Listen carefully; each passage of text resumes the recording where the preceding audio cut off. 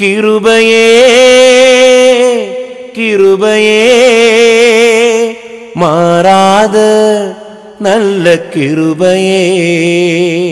உங்க கிருபைதான் என்னை தாங்குகின்றது. உங்க கிருபைதான் என்னை நடத்துகின்றது. உங்க கிருபைதான் என்னை தாங்குகின்றது. உங்க கிருபைதான் என்னை நடத்துகின்றது. பிரியமானவர்களே உங்கள் யாவரையும் இந்த கிருபார் நிகழ்ச்சிக்கு அன்போடு வாழ்த்து வரவேற்கிறோம். இந்த நிகழ்ச்சியை பார்த்து நீங்கள் பயன்பெறுவதை குறித்து கருத்தருக்குள்ள மிகவும் மகிழ்ச்சியடைகிறோம் இந்த நிகழ்ச்சி உங்களுக்கு மிகவும் பயனுள்ளதாக இருக்கிறது என்பதை உங்கள் கடிதங்கள் வாயிலாகவும் தொலைபேசி வாயிலாகவும் நாங்கள் தெரிந்து கொண்டு கர்த்தரை மகிமைப்படுத்துகிறோம். அன்பானவர்களே நீங்கள் வீட்டிலிருந்தபடியே தபால் வழியில் பைபிள் பாடங்களை படித்து சான்றிதழும் முழு வேதாகம் பரிசாக பெற இன்றே எங்களை தொடர்பு கொள்ளும்படியாக அன்போடு கூட நாங்கள் உங்களை ஊக்கப்படுத்துகிறோம். எப்பொழுதும் போல ஒரு நோட்டு பேனாவோடு அமர்ந்து குறிப்பெடுத்து படித்து மீண்டும் பயன்பெறும்படியாக உங்களை அன்போடு கூட நாங்கள் ஊக்கப்படுத்துகிறோம். இந்த நிகழ்ச்சிகள் ஒவ்வொன்றும் கிரேசியஸ் வேர்ட் அப்படின்ற நம்முடைய யூடியூப் சேனலில் பதிவேற்றம் செய்யப்படுகிறது. அங்கேயும் நீங்கள் நிகழ்ச்சியை கண்டு மீண்டும் கேட்டு பலனடையும்படியாக அன்போடு ஊக்கப்படுத்துகிறோம்.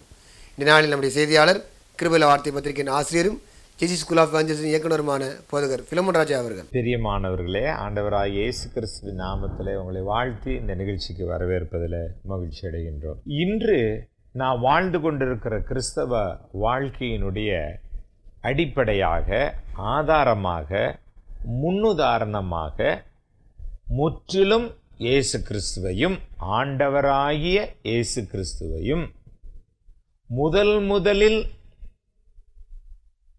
கிறிஸ்தவர்களாக மாறினவர்களின் முன்மாதிரியும் நாம் பார்த்து இன்று வரை பின்தொடர்ந்து கொண்டிருக்கிறோம். இயேசு கிறிஸ்து மரித்து அடக்கம் பண்ணப்பட்டு உயிரோடே எழுந்த கிறிஸ்துவுக்கு பின் கிபி முப்பத்தி மூன்று அல்லது முப்பத்தி நாலாம் ஆண்டிலே எருசலேமிலே பெந்தே கோஸ்தே என்ற யூத பண்டிகையின் நாளாகிய கிறிஸ்து உயிர்த்தெழுந்த ஐம்பதாவது நாளிலே மூவாயிரம் பேர் கடந்த கால பாவத்தை விட்டு மனம் திரும்பி இயேசு கிறிஸ்துவை தேவனுடைய குமாரன் என்று ஏற்றுக்கொள்ளாத அங்கீகரியாத ஒரு கூட்டம் அவரை சிலுவையில் கொன்ற பொழுது அவர் மறித்து அடக்கம் பண்ணப்பட்டு உயிரோடு எழுந்ததனுடைய விளைவு இங்கே ஒரு மூவாயிரம் பேர் அவரோடே கூட கிறிஸ்துவோடே கூட வாழ்ந்த அவருடைய அப்போஸ்தலர்கள் இயேசு கிறிஸ்துவை கொடுத்து கொடுத்த கண்கண்ட உடன் வாழ்ந்த சாட்சிகள் செய்த கிறிஸ்துவின் பிரசங்கத்தை கேட்டு பாவ மன்னிப்புக்கென்று திருமுழுக்கு பெற்ற மூவாயிரம் பேருடன் முதல் முதலாவது கிறிஸ்துவினுடைய கூட்டம் கிறிஸ்துவை பின்பற்றுகிற ஒரு குழு கிறிஸ்துவை பின்பற்றுகிற மக்கள் கூட்டம் அல்லது கிறிஸ்துவின் சபை அங்கே ஆரம்பமானது. சரி. இது ஒரு பெரிய விஷயம் இல்லை நம்ம எல்லாருக்கும் நல்லா தெரிந்தது. இது ஏன் நினைவுபடுத்துகிறேனே என்றால் இவர்கள் தான் முதல் முதலில் கிறிஸ்தவர்களாக மாறினார்கள். ஒரு சின்ன விஷயத்தை கொஞ்சம் அழுத்தமாக சொல்லி தொடர விரும்புகிறேன். இது யூதர்கள் கொண்டாடின ஒரு பண்டிகை மூணு முக்கியமான பண்டிகையில் கூடாரங்களின் பண்டிகை அறுப்பின் பண்டிகை அப்படின்னு சொல்லக்கூடிய பண்டிகையில் இந்த பெந்தே கோஸ்தே என்ற வாரங்களின் பண்டிகையின் கடைசி நாளில் வந்த ஐம்பதாவது நாள். இதற்கும் பெந்தே கோஸ்தே இயக்கம் என்று சொல்லுகிற பெந்தே கோஸ்தே அனுபவம் என்று சொல்லுகிற பெந்தே கோஸ்தே சபைகள் என்று சொல்லுகிற எதற்கும் இந்த புதிய ஏற்பாட்டிற்கும் இப்பொழுது சொல்லப்பட்ட இந்த அப்போ சில ரெண்டாம் அதிகாரத்திற்கும் சம்பந்தம் இல்லை என்பதை முதலிலே நினைவில் வைத்துக் கொள்வோம். அவங்கள சரியா தவறா அப்படின்ற ஆராய்ச்சி இன்னொரு முறை வைத்துக் கொள்ளலாம். இப்பொழுது இந்த தகவலை வைத்துக் கொள்வோம். சரி. அப்ப இவர்கள் எல்லாரும் என்ன செய்தார்கள்? அதை இப்பொழுது ஒரு முன்மாதிரியாக நாம் சிறிய தியானம் செய்ய ஆராய்ச்சி செய்ய நம்மை ஆயத்தப்படுத்தும். சிலர் ரெண்டாம் அதிகாரம் முப்பத்தி ஆறிலிருந்து நாற்பத்தி ஏழு. முழு அதிகாரமும் தான் பட் முப்பத்தி ஆறிலிருந்து நாற்பத்தி ஏழு குறித்து வைத்துக்கொண்டு படித்து பாருங்கள். அதுதான் நம்முடைய ஆராய்ச்சி பகுதியாக இருக்க போகிறது. சரி இப்போ இதில் என்ன தேர்ந்தெடுத்திருக்கிறோம் அப்படின்னா இன்னைக்கு நம்ம எல்லாருக்கும் நிறைய கேள்விகள் எழும்புகிறது. ஆளாளுக்கு ஒரு விளக்கம் கொடுக்குறாங்க பைபிளிலிருந்து ஆளாளுக்கு ஒன்று சொல்கிறாங்க இதில் கிறிஸ்தவர்கள் அல்லாதவர்கள் நம் மீது சுமற்றுகிற குற்றச்சாட்டு அதில் நிறைய உண்மை இருக்குது அல்ல நிறையா உண்மை இல்லாமல் இருக்கிறது. வெறுப்பினாலே சொல்லுவது கவனித்ததினாலே சொல்லுவது அப்படின்றதெல்லாம் இருக்கும் பொழுது கிறிஸ்தவ கூட்டத்திலே ஒரு கேள்வி எழும்புகிறது. நம்முடைய விசுவாசம் எப்படிப்பட்டது? கிறிஸ்துவில் இருக்கிற விசுவாசம் பின்வாங்க நாம் ஆயத்தமாக இல்லை. அதில் எந்த மாறுதலும் இல்லை. ஆனால் அது எப்படிப்பட்டதாக இருக்கிறது? அதனுடைய அடிப்படை ஃபவுண்டேஷன் ஆதாரம் மூலம் எதுவாக இருக்கிறது? அப்படின்னு ஒரு கேள்வியை கேட்கும் பொழுது இப்படி ஒரு காரியத்தை உங்கள் மனதிலே நான் பதிய வைக்க விரும்புகிறேன். துவக்க கால முதல் முதலில் கிறிஸ்தவர்களாக மாறின கிறிஸ்துவின் சபையினுடைய அவர்களின் நம்பிக்கை. நான் ஏற்கனவே உங்கள்கிட்ட சொன்னேன் கிறிஸ்துவின் சபைன்னு சொல்லுவது கிறிஸ்துவை பின்பற்றுகிற கிறிஸ்துவனுடைய இரத்தத்தினாலே கழுவப்பட்ட பாவ மன்னிப்பு பெற்ற மக்கள் கூட்டம். சரிங்களா? அதை ஞாபகத்தில் வைத்துக்கொள்ளுங்க. அவர்களினுடைய விசுவாசம் எப்படிப்பட்டதாக இருந்தது? அது எதன் அடிப்படையிலே இருந்தது என்ற ஒரு கேள்வியுடனே நாம் இந்த படிப்பதற்கு நம்மை ஆயத்தப்படுத்துவோம். ஒவ்வொரு விஷயமாக உங்கள் மனதிலே நான் பதிய வைக்க விரும்புகிறேன். ஏன்னா இன்னைக்கு நம்மளுடைய விசுவாசம் என்பது எதன் அடிப்படையிலே இருக்க வேண்டும்? எங்கள் அப்பா இப்படி எங்கள் தாத்தா இப்படி. சில பேர் சொல்கிற மாதிரி நீங்களாம் நான் தலைமுறை தலைமுறையாவா கிறிஸ்தவங்களாக இருந்தீங்க? ஒன்று பஞ்சம் பிழைக்க வந்தீங்க அல்லது ஏதோ ஒன்று காரியத்துக்காக வந்தீங்க நீங்கள்லாம் மாற்றப்பட்டவங்க தானே அப்படின்னு சொல்லும் பொழுது சில நேரத்தில் ஆமான்னு நினைக்கிறோம். இல்லை சில நேரத்தில் அது என்னமோ நாம் இழிவுபடுத்தப்பட்டதாக அல்லது நம்மளை இழிவாக்குற மாதிரி அவர்கள் பேசும் பொழுது நமக்குள்ளே ஒரு கேள்வி வரலாம். சரி அது இருந்துட்டு போகுது. உலகமெங்கும் கிறிஸ்தவன் என்பவன் ஆம் மாற்றப்பட்டவன்தான் இதை மறந்து போய்விடவே கூடாது. இது நினைவில் வைத்து கொள்ள வேண்டியவர்களாக இருக்கிறோம். கிறிஸ்தவம் மாத்திரம் அல்ல. உலகத்தில் இருக்கிற எல்லா மதங்களிலும் இருக்கிற மக்களும் அவர்கள் ஏற்கனவே நம்பிக்கொண்டிருந்த ஒரு நம்பிக்கையிலிருந்து அடுத்த நிலைக்கு மாற்றப்பட்டிருக்கிறார்கள். இதை மனதிலே வைத்து கொள்ளலாம். சரி இப்போ நம்ம அதை பற்றி பேச தேவையில்லை. அப்போ நாம் மாற்றப்பட்டோம். எங்கு மாற்றப்பட்டோம்? மனதிலே நாம் மாற்றப்பட்டோம். அதை மறந்து போய்விடக்கூடாது. அதற்கு எது காரணம்? நம்பிக்கை. என்ன நம்பிக்கை? ஆண்டவராகிய இயேசு கிறிஸ்துவின் மீது நாம் வைத்த நம்பிக்கை. அவருடைய வார்த்தைகளின் மீது நாம் வைத்த நம்பிக்கை. கிறிஸ்து சொன்னதின் மீது நாம் வைத்த நம்பிக்கை. அவர் வார்த்தையை நாம் நம்பி பின்பற்ற ஆரம்பித்தோம். அப்ப இந்த முதல் நூற்றாண்டு கிறிஸ்தவர்கள் எந்த நம்பிக்கையின் அடிப்படையிலே தங்கள் வாழ்க்கையை ஆரம்பித்தார்கள் அப்படின்ற கேள்வி கேட்கும் பொழுது முதலாவது ஒரு கேள்வியை நமக்கு முன்பாக நாம் எழுப்பலாம். ஆரம்ப கால கிறிஸ்துவின் சபையினுடைய நம்பிக்கையாகிய விசுவாசம் on the basis of the Bible and its words. அவர்களுடைய முதல் நூற்றாண்டு கிறிஸ்தவர்களுடைய கிறிஸ்துவின் சபையின் விசுவாசம் நம்பிக்கை என்பது வேத வசனங்களின் அடிப்படையிலிருந்து கண்டுபிடிக்கப்பட்டது. அப்போஸ்லர் பதினேழாம் அதிகாரம் பதினொன்று பன்னிரெண்டாவது வசனங்களை கவனிக்கலாம். அந்த பட்டணத்தார் மனோவாஞ்சையாய் வசனத்தை ஏற்றுக்கொண்டு காரியங்கள் இப்படி இருக்கிறதா என்று தினந்தோறும் வேத வாக்கியங்களை ஆராய்ந்து பார்த்ததினால் தெசிலோனிக்கையில் உள்ளவர்களை பார்க்கிலும் நற்குணசாலிகளாய் இருந்தார்கள். அப்ப முதலாவது கிறிஸ்துவத்தின் அடிப்படை என்பது கிறிஸ்துவின் மீது ஒருவர் கொள்கிற விசுவாசம் என்பது இயேசுவின் வாயிலிருந்து வந்த வார்த்தைகளின் மீது ஏற்படுத்தி கொண்ட நம்பிக்கை விசுவாசம் அதன் அடிப்படையிலே முதல் நூற்றாண்டு கிறிஸ்துவின் சபை தன்னுடைய அடித்தளத்தை ஏற்படுத்தி கொண்டது.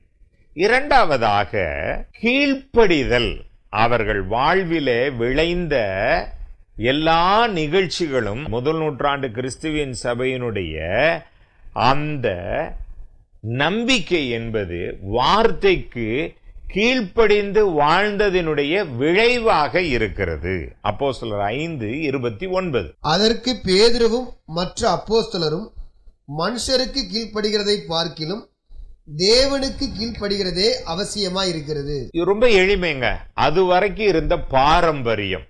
அது வரைக்கும் இருந்த நம்பிக்கைகள். அது வரைக்கும் தலைமுறை தலைமுறையாய் சொல்லிக் கொடுக்கப்பட்டு பயிற்சி செய்து வந்து கொண்டிருந்த ஒரு காரியங்கள்.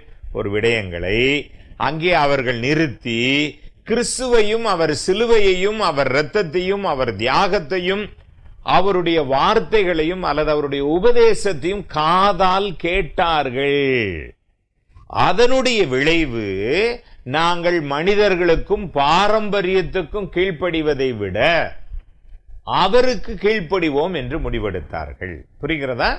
முதல் நூற்றாண்டு கிறிஸ்துவின் சபையினுடைய அடித்தளம் விசுவாசத்தின் அடித்தளம் நேரம் கிடைக்கும் பொழுது ஐந்தாம் அதிகாரம் நாற்பதாவது வசனத்தை படித்து பாருங்கள். அடுத்த குறிப்பாக முதல் நூற்றாண்டு கிறிஸ்துவின் சபையினுடைய நம்பிக்கை என்பது அன்பின் செயல்களில் காணப்பட்டது. அன்பான செயல்கள் அவர்களிடத்திலே இருந்தது. இரண்டாம் அதிகாரம் நாற்பத்தி நான்கு மற்றும் நாற்பத்தி ஐந்தாவது வசனம். அதில் ஒரு வசனத்தை கவனிக்கலாம். விசுவாசிகள் எல்லாரும் ஒருமித்திருந்து சகலத்தையும் பொதுவாய் வைத்து அனுபவித்தார்கள். நன்றாக கவனித்தீர்களா? முதல் நூற்றாண்டு கிறிஸ்தவர்களுடைய விசுவாசத்தின் அடித்தளம் அன்பினாலே இயங்கப்பட்டது. அது ஏன் அவங்க அன்பை முக்கியப்படுத்திக்கிட்டாங்கன்னா அவர்களை பாவத்திலிருந்து விடுதலையாக்க வந்த அவர்களுடைய ஆண்டவர். அவர்களுடைய மீட்பர் அவர்களுடைய பாவ விடுதலை செய்கிறவர் அவர் அன்பினாலே தன்னை தியாகமாக கொடுத்தார். சோ துவக்கமே அன்பினால். கிறிஸ்துவின் உபதேசத்தை விசுவாசித்தவர்கள் அந்த வார்த்தைகளின் மீது அன்பு கொண்டார்கள். அதனாலே அதற்கு கீழ்ப்படிந்தார்கள். கிறிஸ்துவனுடைய வார்த்தைகளின் நேசித்தார்கள். ஆகவே அதை பயிற்சி செய்ய ஆரம்பித்தார்கள். அப்ப தங்கள்கிட்ட என்ன இருக்கோ அதை பகிர்ந்து கொடுத்தார்கள். இப்போ நான் சொல்ல போகிற உதாரணம் சம்மந்தம் இருக்கா சம்மந்தம் இல்லையான்னு எனக்கு தெரியல. இருந்தாலும் ஒரு சின்ன ஒரு இணைப்பை நான் இணைக்க விரும்புகிறேன்.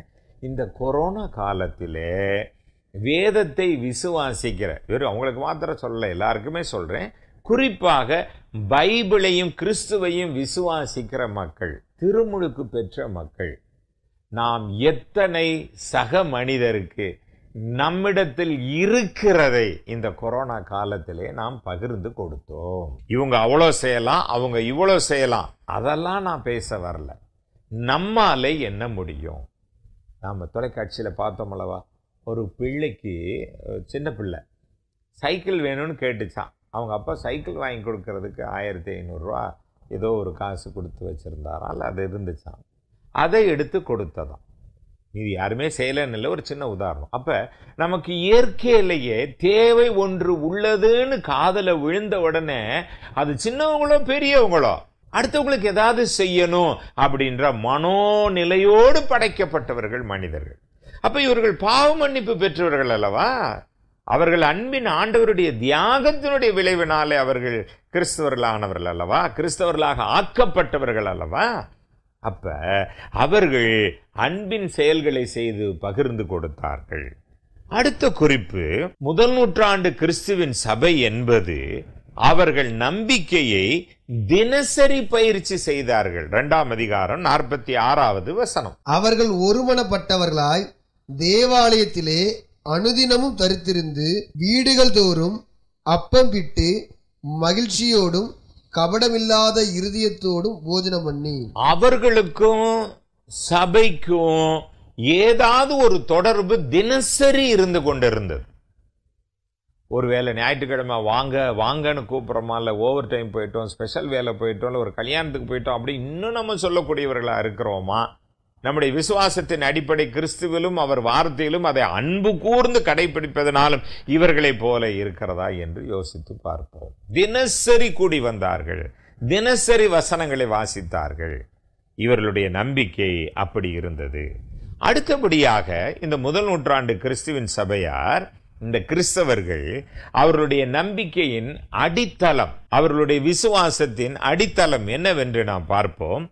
அப்போ சிலர் எட்டாம் அதிகாரம் ஒன்று முதல் நான்கு வசனங்களை குறித்து கொண்டு அதை நான்காவது வசனத்தை கவனிக்கலாம். சிதறி போனவர்கள் எங்கும் திரிந்து சுவிசேஷ வசனத்தை பிரசங்கித்தார்கள். முதல் நூற்றாண்டு கிறிஸ்தவர்கள் தங்கள் பாரம்பரியத்திலும் பல தலைமுறைக்கு ஆயிரக்கணக்கான ஆண்டுக்கு நம்பிக்கொண்டே வந்தவைகளில் இருந்து கிறிஸ்துவையும் சிலுவையையும் பாவ மன்னிப்பு என்ற ஒரு செய்தியையும் பாவத்திற்கு மன்னிப்பு தேடி தலைமுறையாக தலைமுறை தலைமுறையாக அதை எதிர்பார்த்து காத்து கொண்டிருக்கிறவர்களுக்கு பாவ பரிகாரம் கிடைத்தது. அப்ப பாவ மன்னிப்பு என்ற ஒன்றை அவர்கள் தெளிவாக அறிந்து கொண்டவுடனே அதை குறித்த மகிழ்ச்சி அவர்களுக்கு இருந்தது. அதனாலே அவர்களுக்கு இடைஞ்சல் வந்தது தொந்தரவு வந்தது இடையூறு வந்தது. தடை செய்யப்பட்டார்கள். தொழுகக்கூடாது என்று சொன்னார்கள். கூடி வரக்கூடாது என்று சொன்னார்கள். இவைகள் எல்லாம் ஏற்பட்டது. அதனால் அவர்கள் சிதறடிக்கப்பட்டார்கள். ஆனால் சிதறடிக்கப்பட்டாலும் இவர்களுடைய நம்பிக்கை விசுவாசம் என்பது கிறிஸ்துவின் மீதும் அவருடைய தியாகத்தின் மீதும் இருந்ததனுடைய விளைவு. தங்கள் நம்பிக்கையை பிரபல்யப்படுத்தினார்கள். அதை அடுத்தவரிடத்திலே பகிர்ந்து கொடுத்தார்கள். இது ரொம்ப அவசியமான ஒரு காரியம். அதனால இதை தெரிந்து கொள்ளுங்கள் என்று சொல்லி சொன்னார்கள். இந்த கொரோனா சமயத்தில் கை அடிக்கடி கழுவுங்க முகக்கவசம் போடுங்க திரும்பி திரும்பி சொல்லப்படுகிறது. அது ஒவ்வொரு தனிப்பட்ட நபருக்கும் ரொம்ப தேவையான ஒரு காரியம். அதை போல ஆத்துமாவினுடைய கொரோனாவுக்கு அது பாவத்தினாலே மனிதனை கொள்ளுவதினாலே இயேசு கிறிஸ்துவின் இரத்தம் அதை காப்பாற்றும் அதை பயன்படுத்துங்கள் அதை பயன்படுத்துங்கள் என்று சொன்னார்கள். மக்களை அவர்களுடைய நம்பிக்கையிலிருந்து மாற்றவில்லை. மக்கள் தாங்கள் நம்புகிற நம்பிக்கையில ஆத்துமாவின் பாதுகாப்பிற்கான வழி என்ன என்பதை அனுபவித்தவர்கள் அதை சொல்லுகிறார்கள். கொரோனால பாதிக்கப்பட்டு அட்மிட் ஆகிட்டு வெளியே வந்தவங்களும் மருத்துவமனையில் வேலை பார்க்குறவங்களும் நோயாளிகளை பார்த்துட்டு வந்து ரொம்ப கவனமாக இருங்கன்னு சொல்கிறப்ப யாருமே கூப்பிட்டு பணம் காசு கொடுத்து சொல்ல தேவையில்ல தேவையில்லைங்க. தானாக சொல்கிறாங்க தயவு செய்து பாருங்க. தயவு செய்து கவனமாக இருங்க. அதே போல் இந்த அப்போ சில எட்டாம் அதிகாரம் நான்காவது வசனத்தில் சிதறி போனவர்கள் எங்கும் தெரிந்தும் மனிதனுடைய ஆத்துமாவை ஒரு கொடிய நோய் பிடித்து அழித்து கொண்டிருக்கிறது. அதை காப்பாற்ற இயேசுவின் இரத்தமே வழி. அது மாத்திரமே பாவ மன்னிப்பு என்று அதை அறிக்கையிடுவதிலே அவர்கள் உறுதியுள்ளவர்களாக இருந்தார்கள்.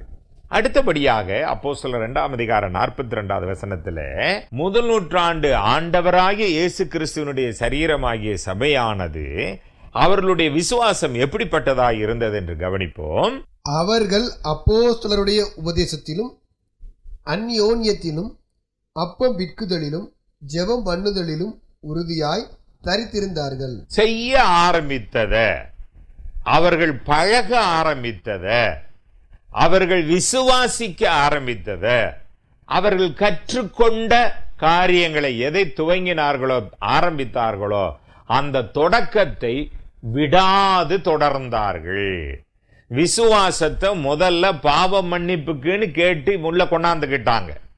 அந்த பாவ மன்னிக்கு அப்புறம் என் விசுவாசம் எப்படி இருக்கணும்ன்றத அதை உறுதி செய்து கொள்ள தொடர்ந்து தினசரி கூடி வந்து வசனத்தை படித்தார்கள். கவனிச்சிங்களா?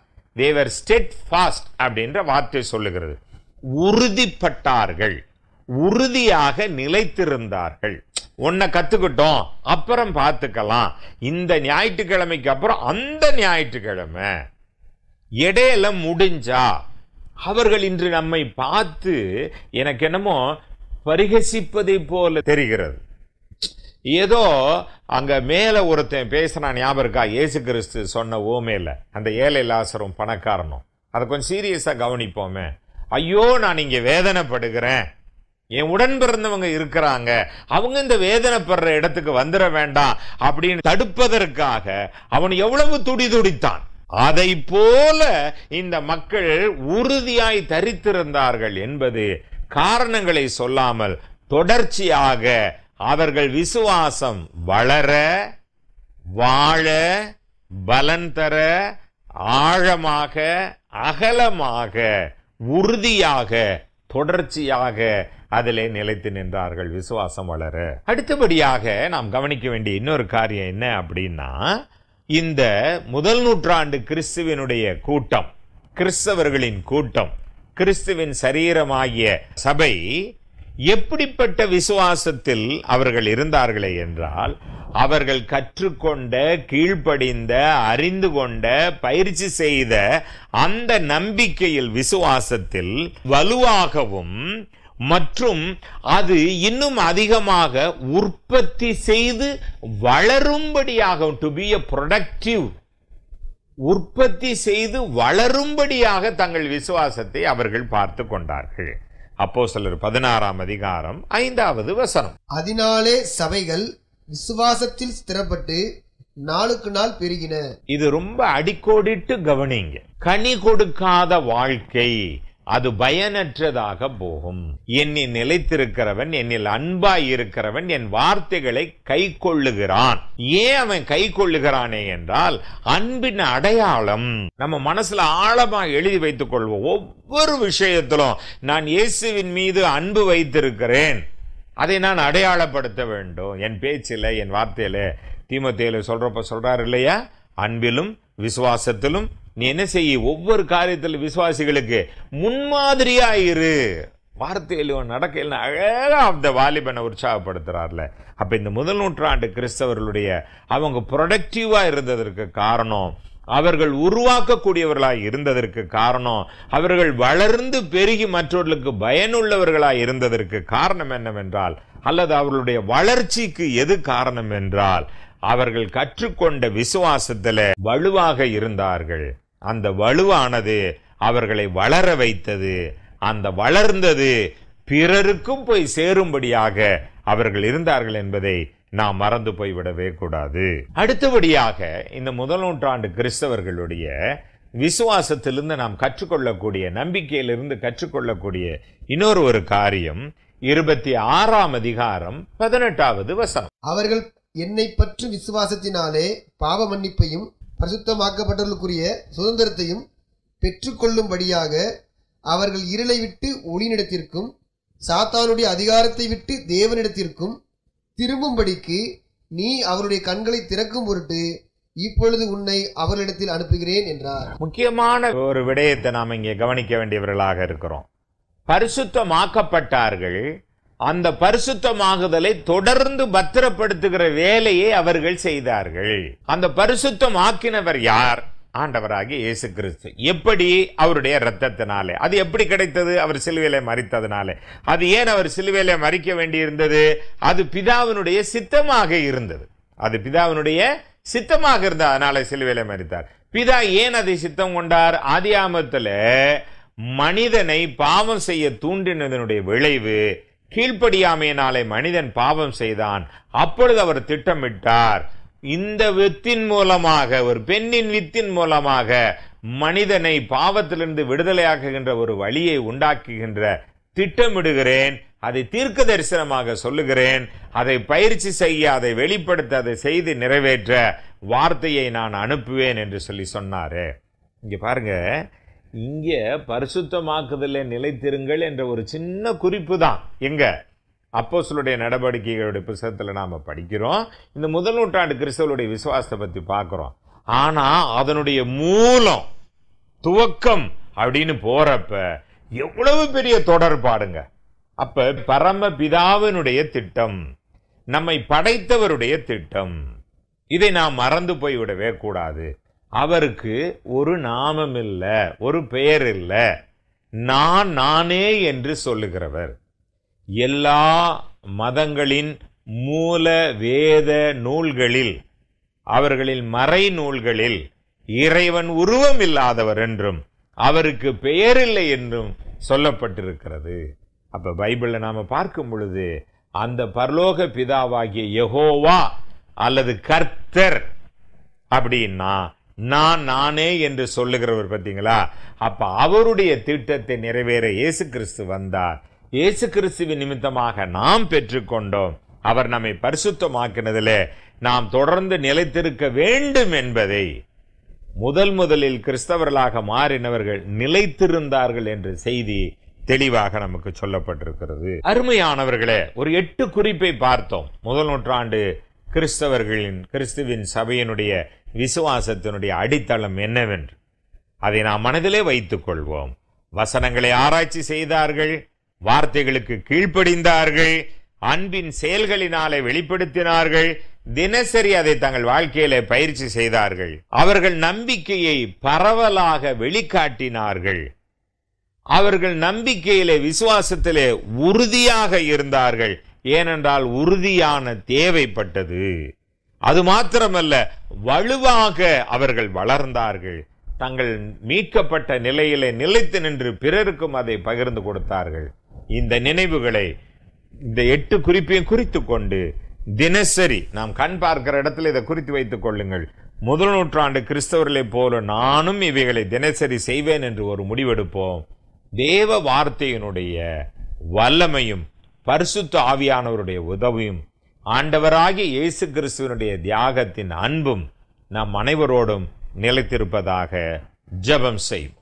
எங்களை நேசிக்கிற நல்ல பிதாவே எங்கள் விசுவாசம் யாரை போன்றது?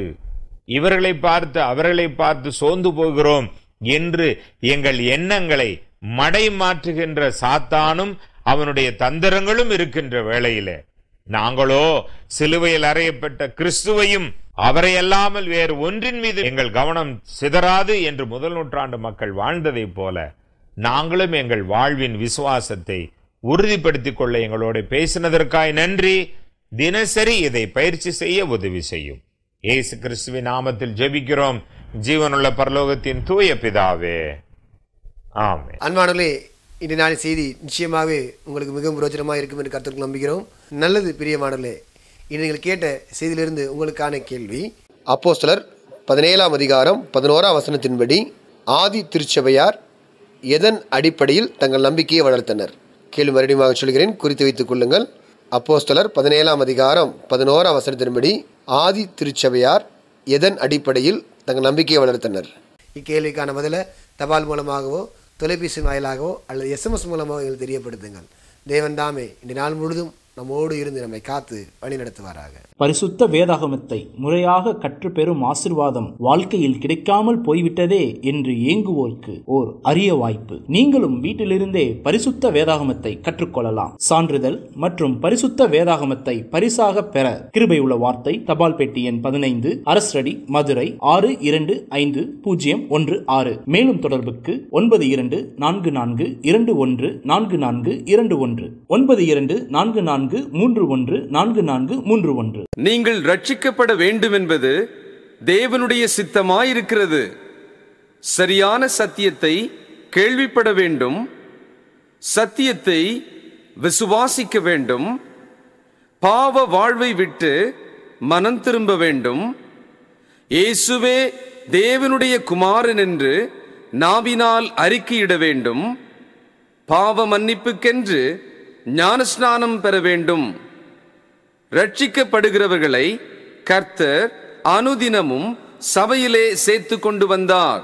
அன்பு நேர்களே நீங்கள் மதுரையில் இருப்பவர்களானால் எங்களுடன் சபையில் சேர்ந்து ஆராதிக்க உங்களை அன்புடன் அழைக்கின்றோம். எங்களுடைய சபை ஆராதனை நேரங்கள் ஞாயிறு காலை ஒன்பது முப்பது மணிக்கும் மாலை ஆறு முப்பது மணிக்கும் மற்றும் வேத ஆராய்ச்சி புதன் மாலை ஆறு முப்பது மணிக்கும் நடைபெறுகிறது.